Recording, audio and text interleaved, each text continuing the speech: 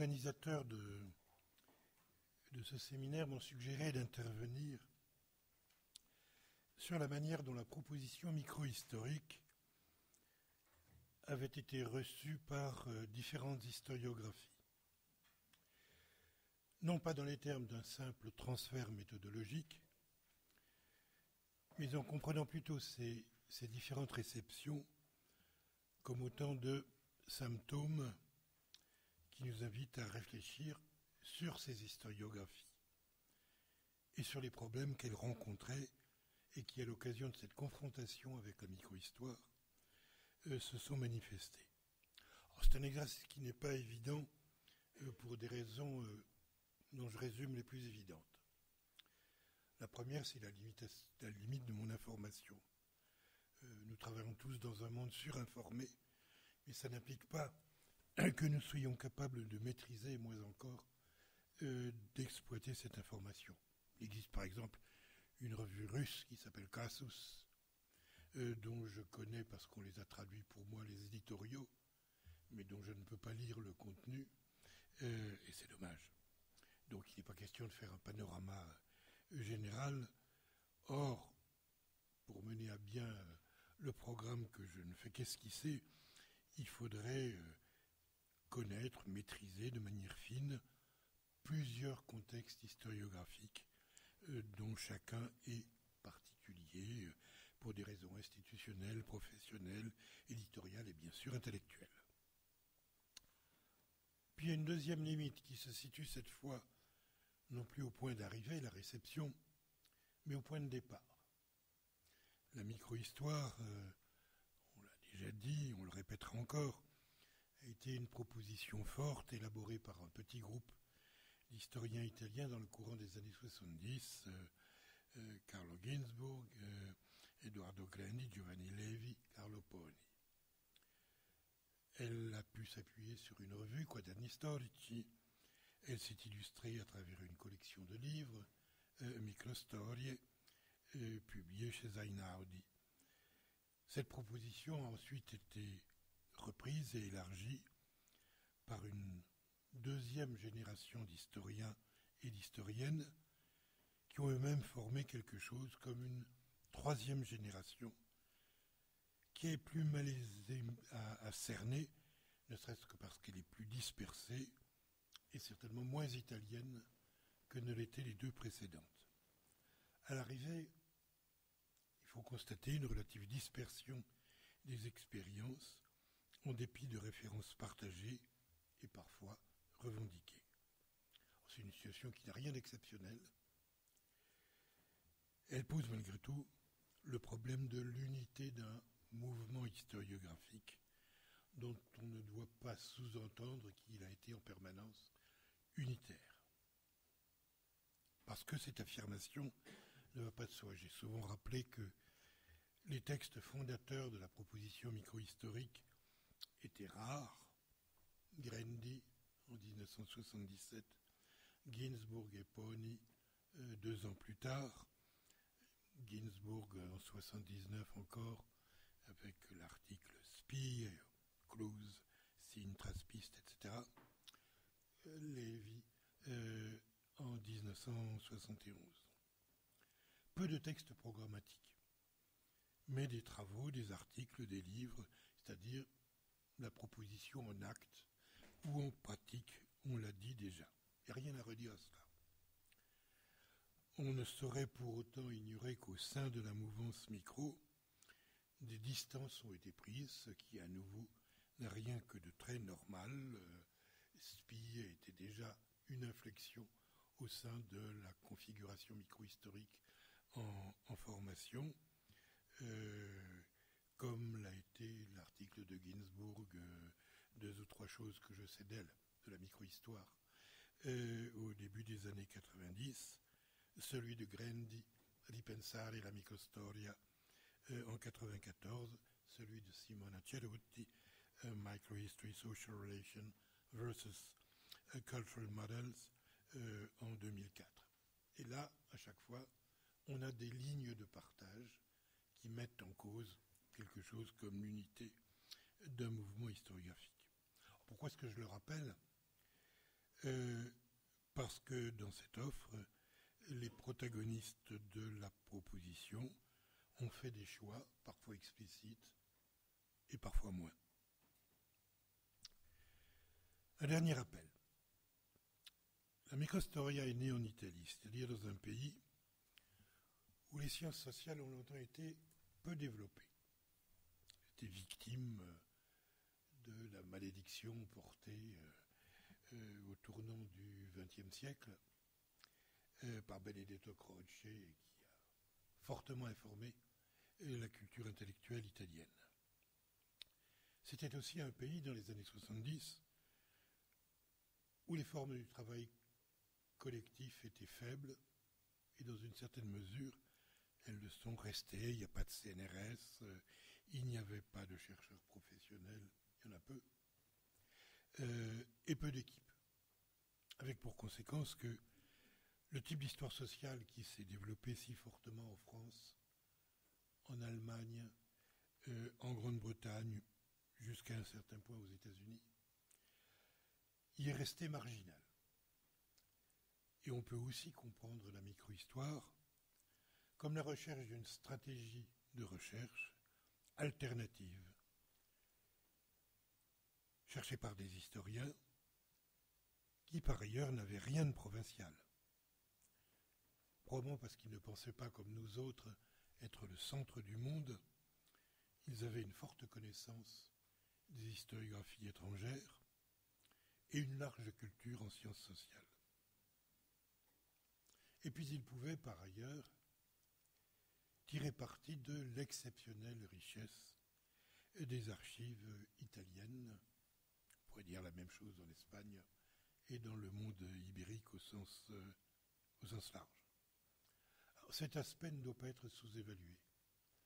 Dans l'article que Carlo Ginzburg et euh, Carlo Poni ont publié en 1979, celui qui s'intitule Il nome et il come, euh, cette dimension est fortement explicitée. tout ce que proposait l'article, c'était de choisir le nom, le nom propre, c'est-à-dire l'indice euh, le plus individuel qui soit, comme fil rouge d'une enquête d'histoire sociale. L'indice le plus individuel, mais celui aussi qui permet de reconstruire une expérience sociale à travers une pluralité de contextes, d'appréhender des écheveaux relationnels et les trajectoires dans leur plus grande complexité. Les modèles auxquels se référaient les premiers historiens étaient pluriels. C'est plutôt l'anthropologie, l'anthropologie anglo-saxonne. Euh, chez Grandy, et jusqu'à un certain point euh, chez Giovanni, euh, c'est plutôt la tradition warborienne et aussi l'exigence philologique chez Gainsbourg.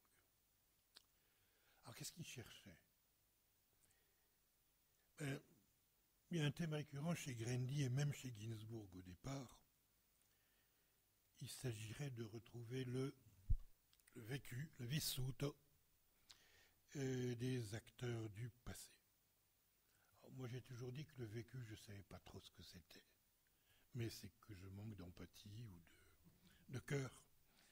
Euh, il me semble qu'on pourrait dire plus utilement quelque chose comme l'expérience, mais cette notion même a été fortement remise en cause euh, par un certain nombre de gens, par Angelo Torre en particulier.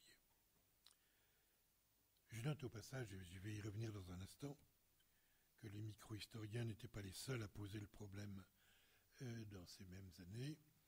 Les History Workshops en Angleterre, euh, grande partie de l'œuvre de. Thompson en amont, l'Alltagsgeschichte en Allemagne euh, était autant d'expressions de, la même préoccupation, plus généralement celle d'une euh, d'écrire ce qu'on appelait à l'époque une history from below, une histoire vue d'en bas. Euh, je rappelle que l'une des questions qui a bercé nos jeunes années était une citation de Bertolt Brecht. Qui a bâti Thèbes aux sept portes? Ce n'est pas les rois, euh, ce sont les ouvriers.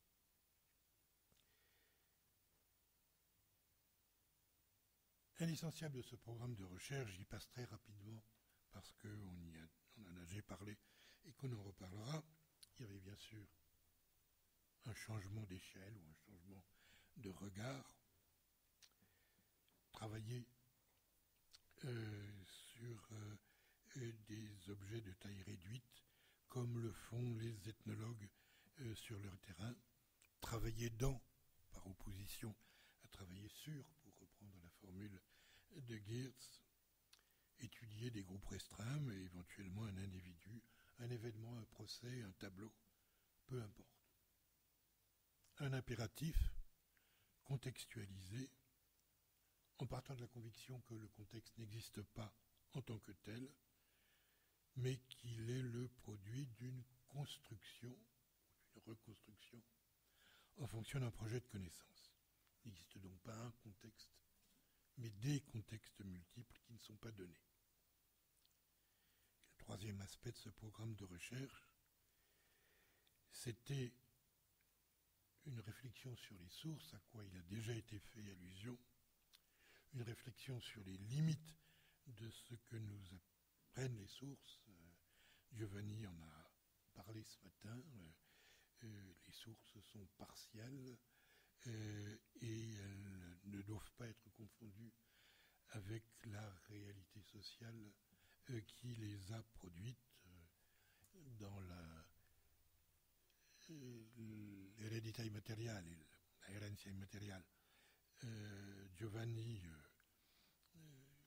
évoque très, justement euh, une nouvelle de Henry James, In the Cage, dans la cage, euh, dans laquelle la télégraphiste d'un hôtel euh, reconstruit le monde social à partir des messages qu'elle reçoit et qu'elle transmet. C'est-à-dire à partir de traces partielles. une manière de rappeler une évidence, mais une évidence que nous passons notre temps à oublier, savoir que l'histoire est une connaissance par les traces. Puis le deuxième aspect euh, de cette réflexion sur les sources appelle une prise en considération de leur statut. Les sources ne sont pas seulement un réservoir d'informations, elles sont en tant que telles des informations à travers lesquelles des positions, des interventions, des revendications s'expriment. C'est ce qu'ont montré beaucoup des travaux des micro-historiens. Ginsburg à propos des procédures euh, inquisitoriales, euh, euh, Simona dans la perspective pragmatique d'une culture en particulier juridique, opératoire, Angelo Torre dans l'assistance qu'il a mise sur le lieu comme producteur de, de sources. J'en ai fini avec mon résumé. Et j'en viens maintenant à ce dont je suis supposé parler, la réception de la micro-histoire dans d'autres configurations historiographiques. Mais il n'est peut-être pas inutile de rappeler auparavant que ce mouvement, la proposition micro-historique, qui incarne pour beaucoup de gens L'apport de l'historiographie italienne a connu en Italie même une fortune limitée. Euh, la micro-histoire ou les micro-historiens sont restés relativement marginaux. Ils ont souvent été marginalisés, par exemple, dans les recrutements universitaires. Beaucoup d'entre eux ont dû s'exiler, en France par exemple. Euh, et en fait, elle vit dans des livres qui ne sont pas si nombreux en Italie, dans un pays où on publie beaucoup. Hein, la microhistoire, c'est plutôt une affaire de séminaire et celle d'une revue, Guadani euh, Storici, qui est toujours bien vivante. voyons maintenant les choses de l'autre côté, au dehors, au point d'arrivée. Et on trouve des formes de réception inégales, mais dont il faut dire d'emblée qu'elles sont biaisées. Elles sont dominées par la figure de Carlo Ginzburg, c'est-à-dire d'un très grand historien, cosmopolite, girovague, un grand professeur, auteur d'une œuvre exceptionnellement abondante et renouvelée en permanence. Euh, ça vaudrait la peine, comme ça, euh, pour le fun, de quantifier euh, la présence de Carlo Ginzburg à travers le monde. Quelqu'un le fera, rassurez-vous.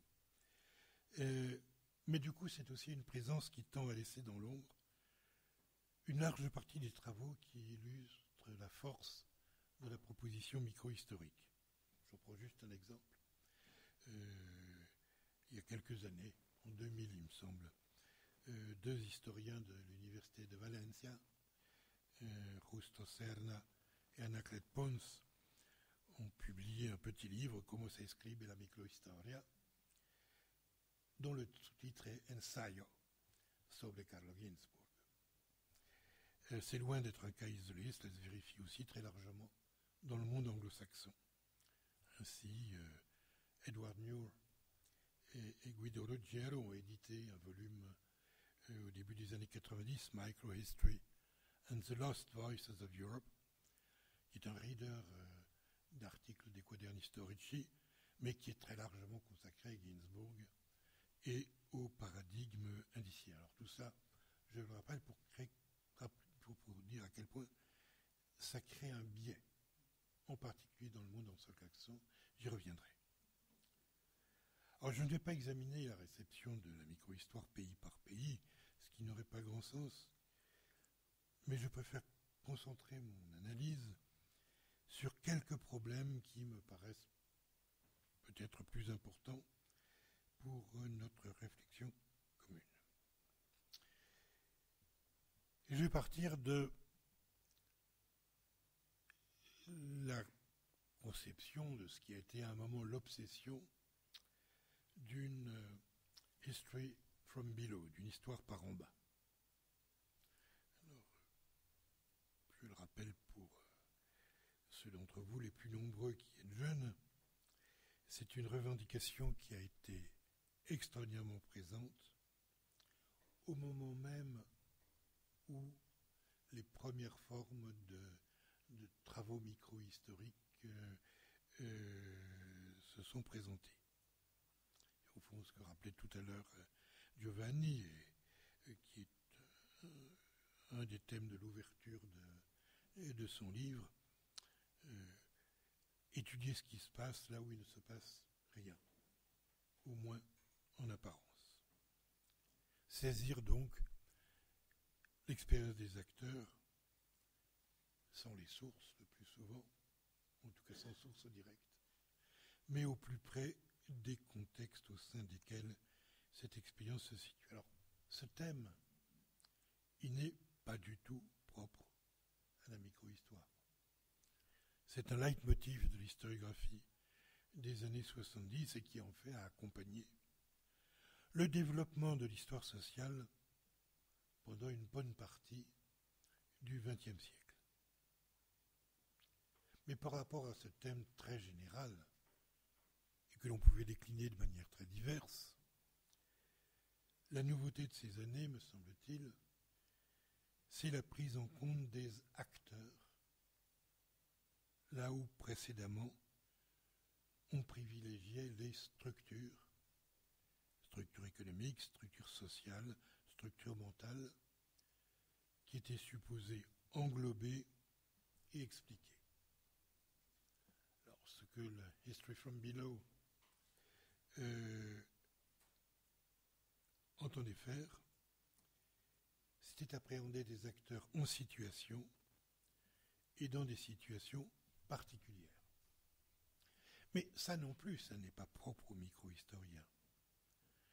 Dans les mêmes années, j'en ai dit un mot tout à l'heure, les mêmes préoccupations s'exprimaient en Angleterre, en Allemagne en Angleterre le développement des History Workshops à la fin des années 60 en est un exemple mémorable. Il s'agissait d'un projet qui était à la fois historique, historien, et politique, socialiste, issu de la New Left. Il s'agissait de produire un savoir historique enraciné dans l'expérience des groupes dominés, et donc de produire une histoire en collaboration avec tous les protagonistes intéressés, les universitaires sans doute, mais d'abord les acteurs de cette histoire, leurs familles, leurs descendants, les historiens locaux, etc. D'où l'idée des workshops et leur dimension euh, fortement militante. Au moins de la première version des History Workshops, puisque à partir des années 80, euh, on a affaire à toute autre chose et dans un autre contexte historiographique. Alors ce projet des, ateliers d'histoire s'enracinait dans une tradition politique radicale très forte en Grande-Bretagne. Elle trouvait des appuis dans la puissance, à l'époque, des organisations syndicales. Et puis elle s'appuyait aussi sur une référence historiographique majeure, le grand livre de Thompson, The Making of the English Working Class, publié en 1963 et dont euh, Lévy a parlé tout à l'heure. Dans ce grand livre, ce marxiste hétérodoxe ne partait pas d'une définition préalable de la classe, mais il l'étudiait comme un processus de formation suivi dans le temps et qui agrégeait des trajectoires hétérogènes. L'idée, au fond, c'était que il y avait plusieurs entrées, plusieurs manières d'entrer dans la classe ouvrière, comme c'est le cas dans tout grand phénomène collectif. Dans ces mêmes années 70, et pour partie inspiré par le programme des History Workshops anglais, l'Alltagsgeschichte en Allemagne, à nouveau un phénomène hyper minoritaire euh, dans l'historiographie allemande. Mais on y retrouve le projet d'une histoire écrite en collaboration avec ses acteurs. On y retrouve aussi la centralité non exclusive de l'expérience contemporaine, celle du nazisme et en amont, la modernisation accélérée des sociétés allemandes depuis la fin du XIXe siècle. C'est ce qu'a étudié particulier euh, Alf Lütke, qui euh, vient de disparaître. Derrière ces phénomènes massifs, largement décrits, il s'agissait de repérer, de comprendre la part qui avait pris des acteurs individuels et la manière dont ils avaient articulé leurs projets personnels, ce que Lütke a appelé Eigensinn, à des contextes en transformation rapide. Ici, à nouveau, la référence à Thomson était centrale et s'opposait à une histoire sociale pensée en termes d'agrégats statistiques qui étaient dominantes en Allemagne autour de Wieler ou de, de Dans le cas anglais, comme dans le cas allemand, il s'agissait de programmes qui se sont développés très largement de façon indépendante par rapport à la proposition micro-historique. La chronologie que je viens de rappeler suffit à le faire voir. ça n'empêche pas qu'un certain nombre de points soient communs alors que l'histoire sociale classique était beaucoup plus développée, qu'elle était dominante euh, en Allemagne euh, comme euh, en Grande-Bretagne, à la différence de l'Italie. Alors, qu'est-ce qui explique ce tournant des années 70 euh, On peut en discuter. Euh, qu'est-ce qui explique ce qu'on a appelé euh, le retour des acteurs et qui vaut probablement mieux appeler le tournant pragmatique de l'histoire sociale?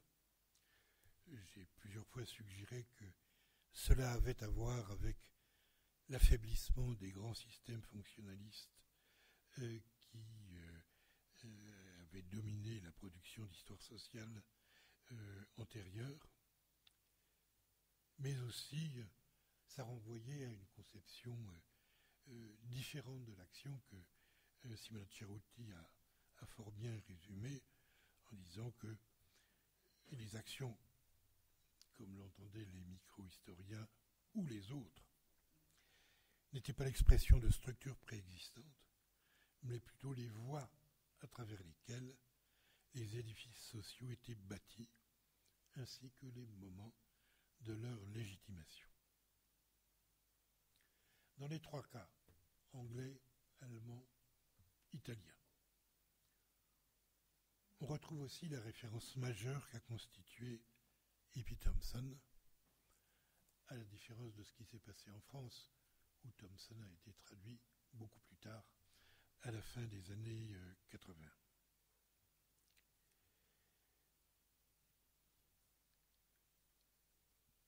Tout ceci peut faire comprendre que, jusqu'à un certain point, la proposition italienne, Ginsburg mise à part, a eu relativement peu d'écho en Grande-Bretagne et en Allemagne. Pourquoi? Parce que le terrain, d'une certaine manière, y était déjà occupé. Euh, et qu'en outre, en Grande-Bretagne, il existait une tradition très forte, très enracinée, de local history, qui a pu entretenir des ambiguïtés sur le projet micro-historique et, sa nouveauté. À quoi s'ajoute euh, dans le cas euh, britannique comme dans le cas allemand une dimension militante qui n'est pas absente euh, de la mouvance micro-historique, mais qui n'y est pas non plus dominante.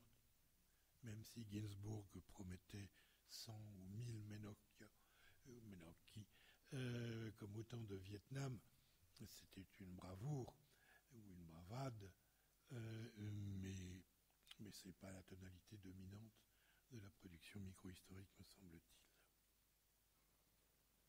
Et puis enfin, c'est peut-être plus important, il existait probablement entre anglais et allemand d'un côté, euh, micro-historien italien de l'autre, une mésentente ou un malentendu sur ce que pouvait être une History from Below. Et là, je dois renvoyer euh, à l'article de Simona Cerutti, publié dans les Annales euh, en 2015, Who is Below? Euh, Qu'est-ce qu'on met derrière ce mot, below? Quel est le bas? Un ensemble social?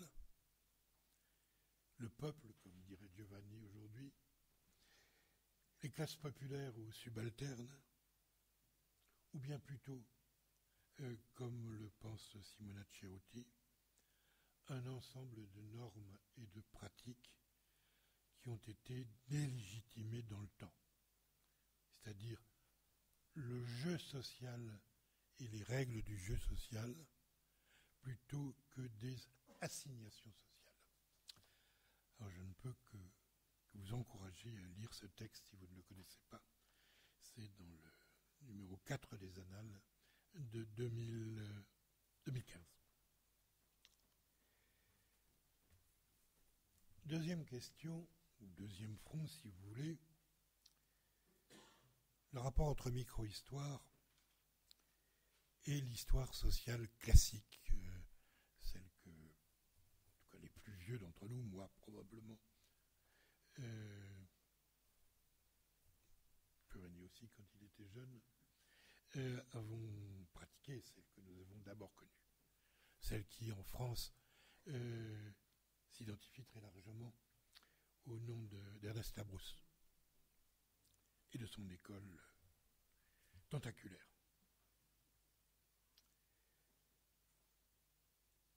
Et ici, c'est bien entendu la réception française de la micro-histoire euh, qui est peut-être la plus significative. parce que c'est en France que c'est plus particulièrement développé depuis les années 30 un modèle d'histoire sociale qu'on peut appeler, que j'appelle classique, et qui s'identifie à l'œuvre et plus largement à la très nombreuse postérité euh, d'Ernest Labrousse. Ce modèle, je l'ai dit, on le retrouve aussi avec des aménagements en Allemagne ou en Grande-Bretagne. Alors ce modèle d'histoire sociale classique, il s'inscrivait dans la proposition théorique du sociologue durkheimien François Signan tout au début du XXe siècle. Pour lui, une histoire véritablement scientifique était requise de se conformer à un protocole général qui devait être celui des sciences sociales en général, identifier des régularités et à partir de là, induire des lois du social. À cette fin, il fallait poser une hypothèse explicite, construire des objets empiriques en vue d'une démonstration, vérification, d'où le primat de l'histoire quantitative plus largement, de l'histoire sérielle qui a été caractéristique, de l'histoire économique et sociale, puis plus généralement, euh, tardivement, de l'histoire culturelle dans les décennies d'après-guerre. Ce modèle reposait sur l'exploitation de sources les plus massives possibles, à partir desquelles il s'agissait de sélectionner, de retenir un nombre limité de données sûres, susceptibles d'être agrégées statistiquement, des prix, des revenus, des niveaux de fortune, des populations, des distributions professionnelles, des consommations, etc. Hein? Il s'agissait, j'avais risqué le, terme, au fond, euh, d'un usage extensif des sources que l'on approvissait. Un exemple classique de ceci, c'est l'exploitation des registres paroissiaux.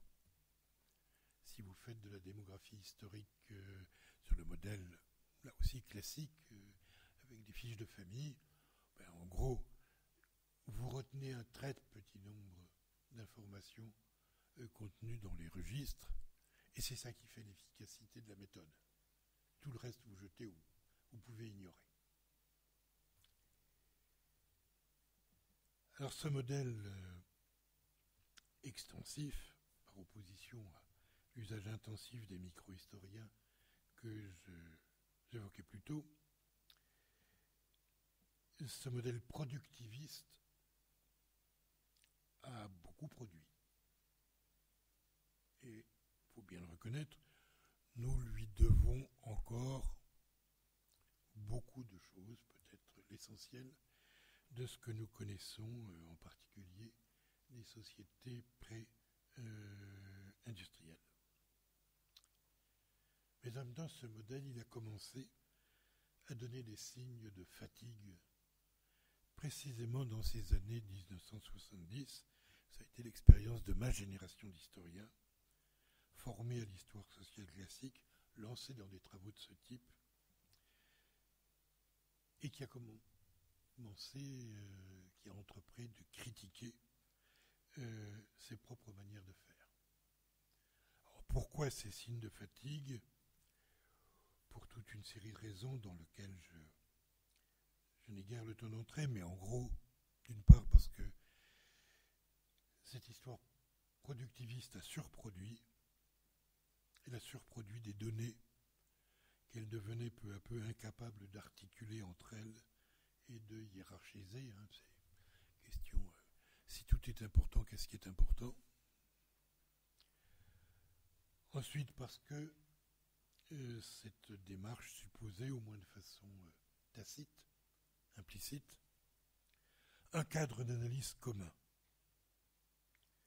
Or, c'est le moment, je l'ai dit déjà, où les grandes architectures fonctionnalistes intégratives euh, ont commencé à donner des, des signes d'érosion.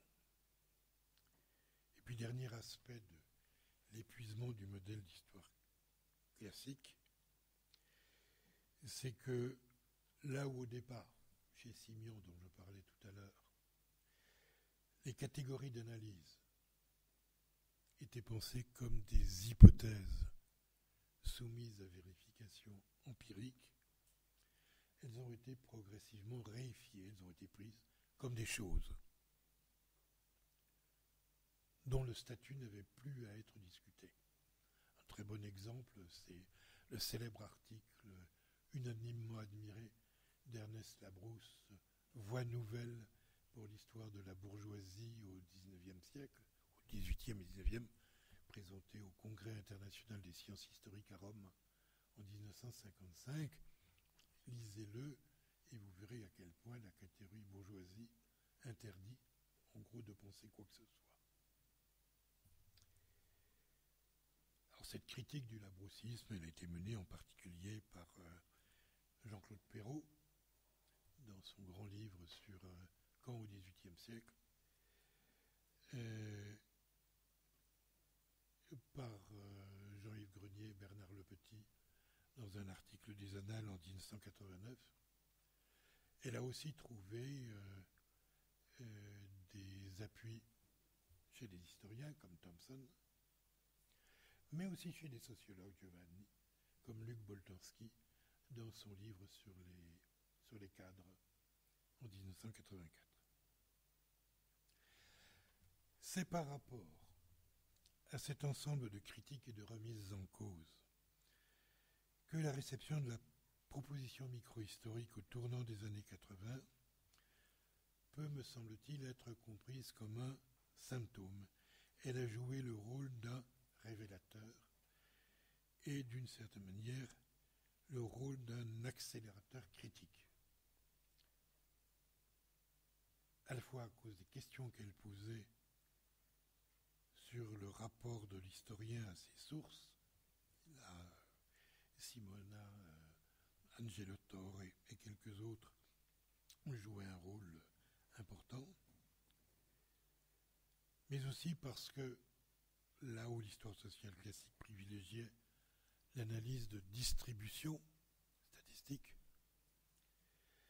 la microhistoire plaçait l'accent sur les processus et sur les interactions constitutives de ces processus.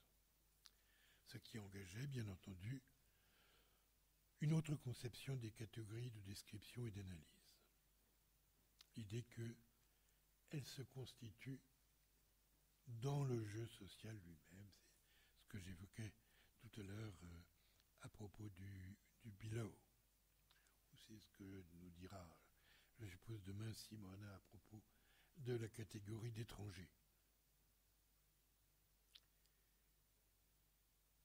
La provocation micro-historique engageait aussi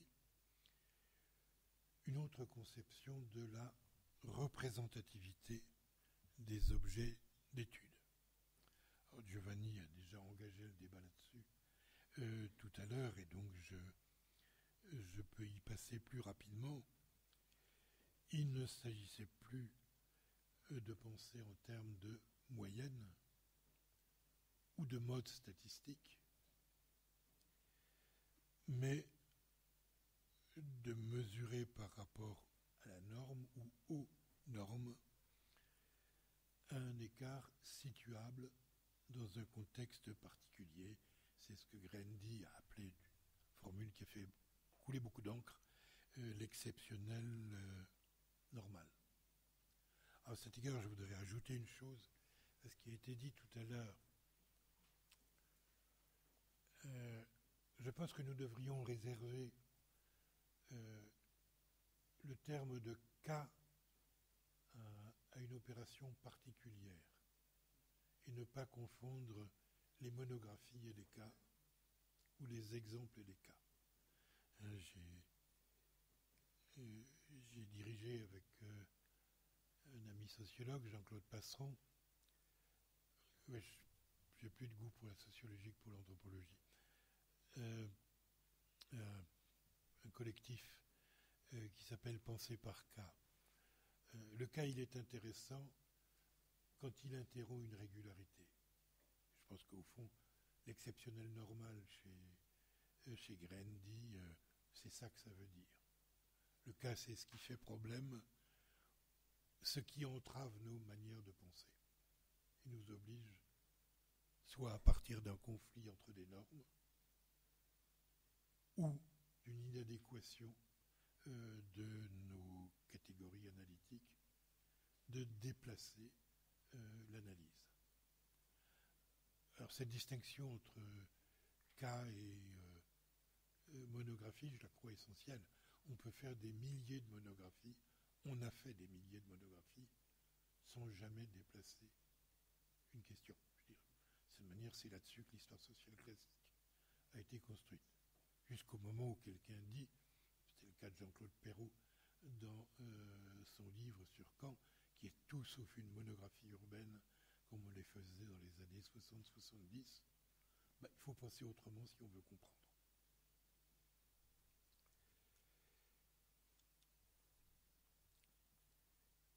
Bon, puis la dernière, le dernier point, me semble-t-il, est que la dernière provocation de la micro-histoire euh, euh, face à l'histoire sociale classique, c'est qu'elle engageait une conception profondément différente des processus sociaux.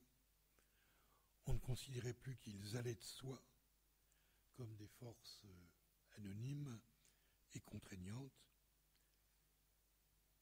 mais plutôt qu'ils étaient la résultante d'une multiplicité de choix, de stratégies individuelles qu'il s'agissait de retrouver et qu'on pouvait penser en ces termes des phénomènes macro comme l'urbanisation ou euh, euh, l'industrialisation ou l'alphabétisation ou les formes de l'agrégation politique, euh, etc. Un très bon exemple, c'est le travail de Paul-André Rosenthal sur euh, ce qu'on appelle en France, ce qu'on appelait avant lui l'exode rural, c'est-à-dire le transfert massif euh, d'une part importante de la population rurale vers les villes euh, entre les années 1830-40 et fort avant dans le XXe siècle, dans lequel il montrait à partir d'études micro-quantitatives sur des bases de données lourdes, à quel point ce qu'on appelait d'un terme englobant l'exode rural relevait de stratégies et de trajectoires qui pouvaient être largement euh,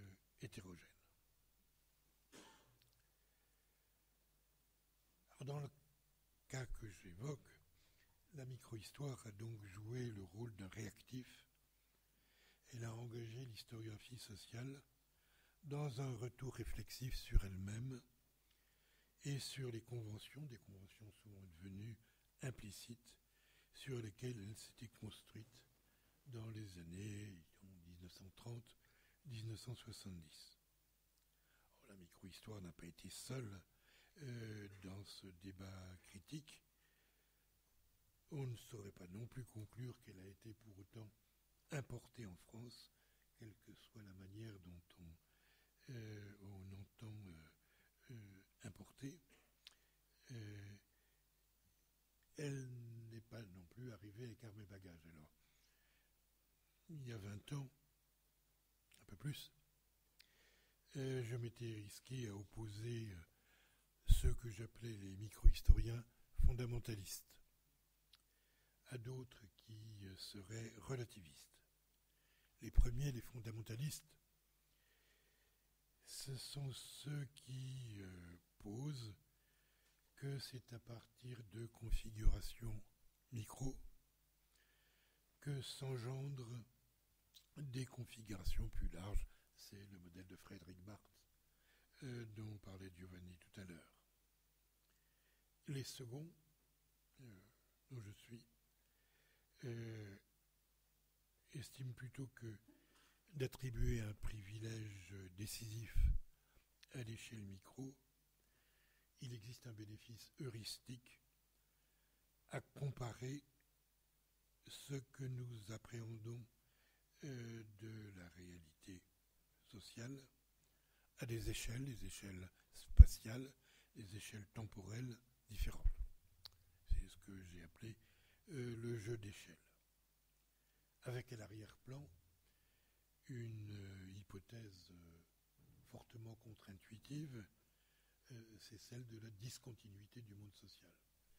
Tout à l'heure, Giovanni disait le Brexit est plus important euh, que l'arrivée d'assiettes chinoises en Angleterre. Et moi, ma réponse, c'est ces deux histoires ne sont pas commensurables. La comparaison n'a pas d'intérêt.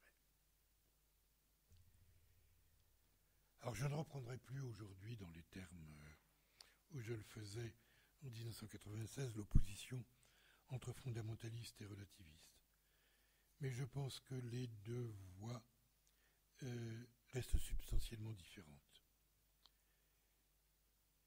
La microhistoire été très présente dans le débat français depuis une trentaine d'années. Je ne suis pas certain pour autant que la greffe ait pris, ne serait-ce que parce que du, côté italien, on est allé euh, vers un approfondissement des spécificités de l'approche euh, micro que fait Simona euh, dans une série d'articles de rappel à l'ordre depuis euh, les années 90, ou encore euh, d'Angelo Torre, qui a été l'avocat, l'avocat d'un tournant spatial et qui n'a cessé d'approfondir la prise en compte de la localité, du lieu, compris inséparablement comme producteur de sources et comme terrain d'étude rendu possible à partir de ces sources. J'aborde, si j'ai encore un tout petit peu de temps, un troisième front. Ce qui relève ce qu'on pourrait appeler la scénographie de la recherche. Et là, c'est plutôt vers euh, les États-Unis que je me tourne. Dans ce qui a fait le succès relatif euh, de la micro-histoire, mais aussi, jusqu'à un certain point, l'ambiguïté de ce succès, on trouve un type d'écriture et de composition qui ont joué un rôle essentiel, euh, particulièrement dans le monde anglo-saxon et particulièrement ou plus spécifiquement aux États-Unis.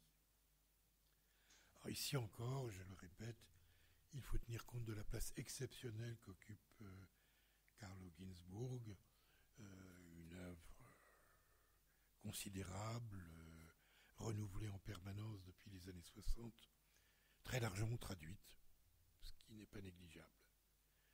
De multiples formes d'intervention, une présence très forte aux États-Unis et dans le débat américain depuis les années 90, et à partir du moment où il a occupé une chaire à l'Université de Californie à Los Angeles. Et puis l'ampleur du répertoire de ses intérêts et enfin une écriture exceptionnelle, hors norme. Ça fait beaucoup. Et ça explique que jusqu'à un certain point, euh, l'œuvre de Gainsbourg a monopolisé, ou en tout cas a concentré une bonne part du débat historiographique euh, aux États-Unis. Et ça, ça biaise un peu les choses. Alors il me semble que dans ce monde, celui de l'historiographie anglo-saxonne, c'est-à-dire d'un continent immense, et qui a des effets de répercussion au dehors extrêmement puissants, mais qui aussi ne lit qu'en anglais. Il suffit de regarder les bas de page. Et ça aussi, ça introduit des biais. Euh, on peut retenir trois traits. Le premier, le plus évident, c'est que ce qui a plu dans les micro-histoires aux États-Unis, c'est la dimension du récit et le talent des narrateurs. Le problème du récit, chacun le sait ici, c'était un, un, point fort du débat historiographique depuis les années 80 sous plusieurs formes triviales, Lawrence Stone, plus élaboré, bien chez Kozelek ou, chez Paul Ricard. Mais c'est un attrait qui a été contaminé dans une large mesure euh, par le linguistic turn américain et les travaux de Hayden White. On est dans une chronologie exactement parallèle à celle de l'émergence et de l'affirmation de la microhistoire. D'où l'ambiguïté des lectures et des formes de réception. Euh, alors que chez un certain nombre de micro-historiens, c'est le cas de Ginsburg et c'est le cas de Lévy. Le recours au récit me semble avoir été un effort pour associer le lecteur à la démarche de l'enquête, le modèle du roman policier, si vous voulez. Dans la réception anglo-saxonne, on trouve essentiellement une esthétisation euh, de la recherche et de l'écriture. Il y a à la fois le small is beautiful et puis une manière d'écrire comme le Scott Stone, une histoire moins ennuyeuse que celle que produisaient euh, les travaux savants. un bon exemple de ça, c'est le recueil d'articles de Robert Darnton, Le grand massacre des chats, 1984, est partout pensé aux États-Unis comme le modèle même de la micro-histoire, alors que ça n'a rien à voir de près ni de loin, et c'est même antinomique, me semble-t-il, avec le travail des micro-historiens. Mais on pourrait dire autant euh, des travaux de Simon Schama, Dead uh, Certainties, 1991, et on a même pu faire passer des œuvres de fiction comme le livre de Jonathan Spence, The Death of Woman One, pour un travail euh, de micro-histoire autour d'un personnage parfaitement imaginaire. Le problème de la source étant bien entendu évacué. Le second trait de cette réception américaine me paraît être l'insistance mise sur le registre des émotions, du ressenti et du vécu, et la recherche d'une couleur psychologique. C'est pas entièrement nouveau. Giovanni citait tout à l'heure euh, l'œuvre immortelle de euh, González y González, euh, Pueblo en Ville, Microhistoria de San José de Gracia. je ne sais pas si certains d'entre vous connaissent ce livre. Il s'agit en fait de l'étude monographique d'une communauté villageoise du Michoacán, dans le Mexique central, suivi sur quatre siècles et mené par la conviction euh, qu'une observation rapprochée serait susceptible de restituer une part ignorée ou cachée de l'existence sociale, une part que González y González n'hésitait pas à caractériser comme matria, féminine, proche, familiale, affective, tous ces termes étant dans son esprit équivalents. Euh, on, peut discuter de cette question, mais si vous lisez euh, Pueblo en Ville, vous verrez que c'est une monographie villageoise avec une insistance sur la dimension psychologique et matria, mais que ça n'a pas grand-chose à voir avec ce que la microhistoire a proposé une dizaine d'années plus tard. Cette insistance sur le thème euh, de la proximité, de l'intimité, du secret. On la retrouve dans les readers qui ont été publiés aux États-Unis, euh, qui insistent sur le sexe, le crime et toutes les choses qui étaient cachées euh, dans les peuples oubliés de l'Europe, bien entendu. Et puis le troisième aspect, qui est peut-être le plus intéressant, c'est le succès qu'a eu euh, aux États-Unis euh, le paradigme indiciaire, qui est malgré tout propre à Carlo Ginzburg, et dont on ne trouve pas l'équivalent, me semble-t-il, chez les autres micro-historiens. le célèbre article euh, Spie, Close 12 en anglais, euh, de 1979 est un article euh, qui a été un succès global. Il a été très largement traduit, commenté. Et je vous rappelle, mais vous le savez déjà, qu'il propose de comprendre la démarche historienne au rebours de l'ambition nomologique euh, et qui avait été la sienne et celle des sciences sociales depuis la fin du XIXe siècle. contre cela, Carlo Ginzburg faisait une proposition alternative, opposée ce qu'il appelait le paradigme indiciaire à ce qu'il nommait, d'un terme peut-être un peu trop englobant, le paradigme galiléen. C'est un article magnifique, comme tout le monde voudrait en avoir écrit, euh, extraordinairement écrit, composé, séduisant, peut-être moins convaincant à 40 ans de distance euh, qu'il ne l'était, et Ginsburg lui-même y est revenu dans une version plus en retrait, euh, dans un texte qui s'appelle 25 ans après, dans lequel il baisse un peu le niveau de la proclamation. Il reste que le paradigme indiciaire a connu aux États-Unis un formidable succès, au moins de citation. C'est sans doute pas un hasard. D'abord parce qu'il existe aux États-Unis euh, une ancienne et durable réflexion de type sémiotique. Hein, c'est le pays de Pierce.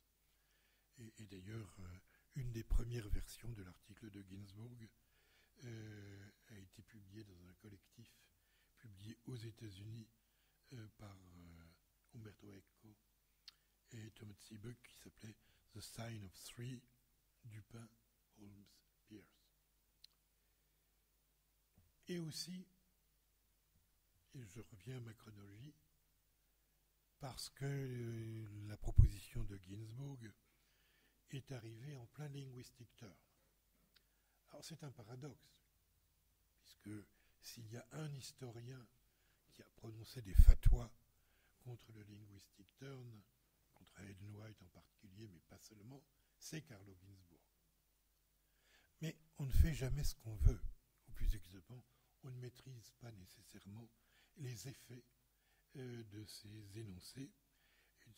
c'est un paradoxe euh, ironique qui fait que une partie de ce qui a euh, soutenu la fortune du paradigme indiciaire aux États-Unis est précisément euh, ce que Ginsburg récusait euh, radicalement. Alors, j'insiste sur ces aspects qui peuvent vous paraître superficiels. Ils ne le sont pas autant qu'on croit. Euh, un historien islandais, Magnusson, et un historien hongrois, Istvan Sijarto, ont, constitué une, une association des micro-historiens, dont au moins trois personnes ici sont membres, dont moi, euh, et qui est une escroquerie, il faut le dire, mais qui reprend terme à terme, vous pouvez le chercher sur Google, j'ai pas le temps de vous le citer, euh, qui reprend en gros terme à terme euh, les traits de la réception américaine que je viens de décrire. Au fond, euh, il s'agit de fabriquer des objets qui conviennent à des lecteurs dont on dessine à l'avance le, profil et les, intérêts. Je n'ai plus de temps pour parler d'un quatrième front dont Giovanni a commencé à parler et dont on parlera demain, qui est le rapport entre micro-histoire et histoire globale. Hein. la conjoncture historiographique a changé. Depuis une trentaine d'années, c'est la revendication d'une histoire globale euh, qui est passée au premier plan et beaucoup de gens estiment euh, que le moment de la micro-histoire euh, est passé maintenant qu'il s'agit d'aborder les réalités historiques en large spectre, de reprendre en compte de grandes évolutions et de procéder à des saisies globales. là-dessus, euh, euh, je me contenterai très rapidement d'un petit nombre de réflexions élémentaires qui poursuivent en gros euh, ce qu'a dit Giovanni tout à l'heure.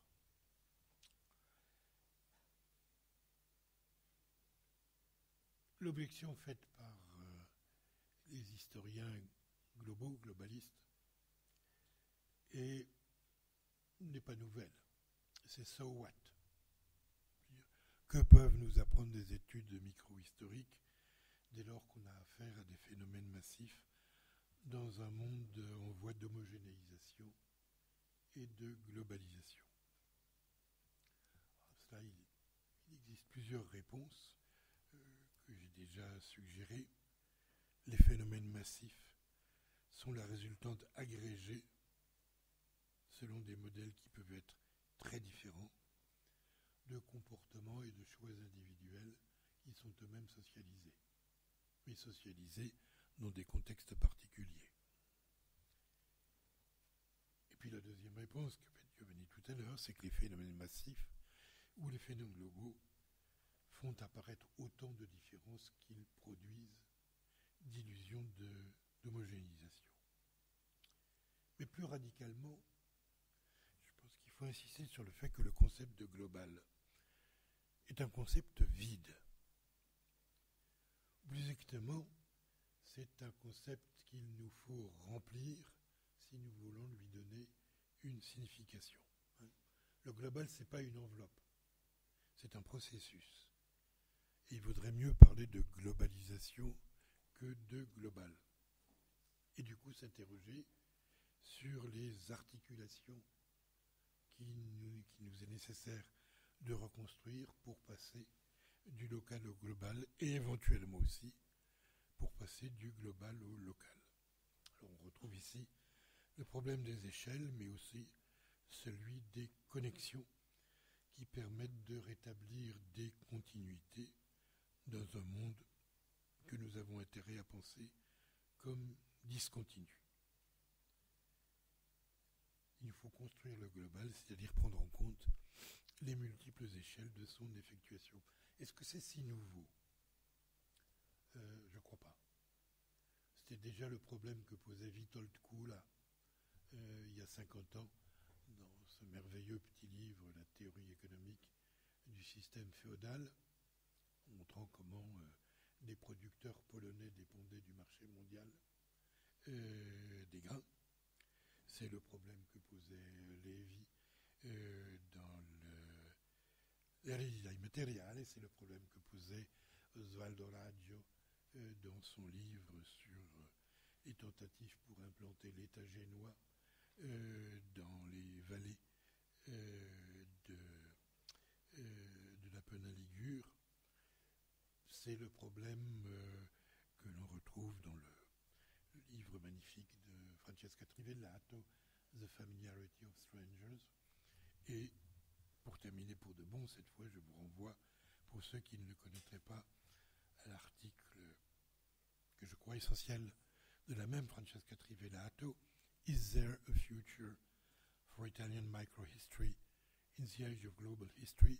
Vous le trouverez en ligne facilement en, en googlant Trivellato c'est paru dans les California Italian Studies en 2011. Merci.